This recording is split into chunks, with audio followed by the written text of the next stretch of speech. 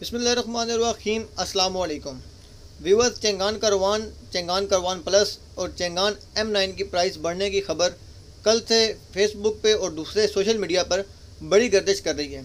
जिसमें एक लेटर दिखाया जा रहा है जो कि आप अपनी स्क्रीन पे देख रहे हैं। जिसमें बताया जा रहा है कि कुछ वजूहत की बिना पर चेंगान करवान करवान प्लस और एम नाइन की प्राइस बढ़ा दी गई है। प्राइस प्राइस कितनी बढ़ाई गई है वो भी आपके सामने नज़र आ रहा है। जो चेंगान करवान चौदह पैंतीस की थी, वो अभी आपके पास चौदह नब्बे की हो चुकी है।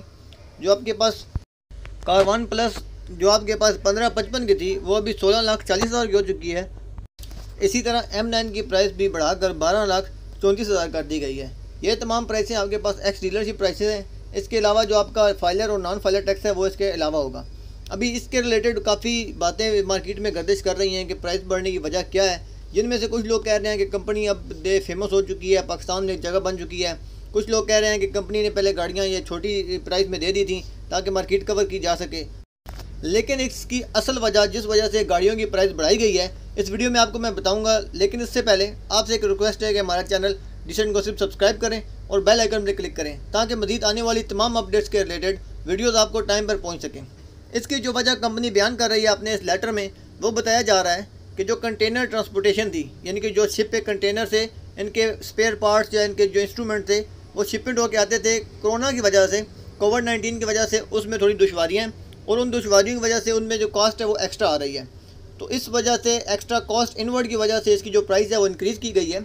हम उम्मीद कर सकते हैं कि जब ये हालात ठीक हो जाएँगे, कुछ शिपमेंट कॉस्ट में उनको कमी आएगी तो चंगान करवान करवान प्लस और एम नाइन की प्राइसेस दोबारा रिड्यूस कर दी जाएँगी। अभी ये एक तमाम बातें उस लेटर पे मुनसर हैं, जो लेटर फेसबुक पे गर्दिश कर रहा है।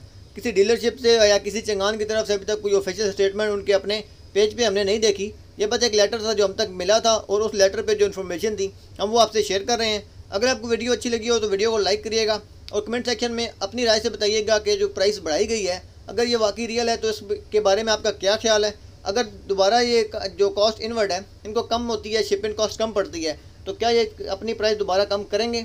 अगर आपके पास इस बारे में कोई भी और क्वेश्चन है, आप हमें कमेंट सेक्शन में बता सकते हैं। हम आपके क्वेश्चन का बेहतर आंसर आपको देने की ट्राई करेंगे।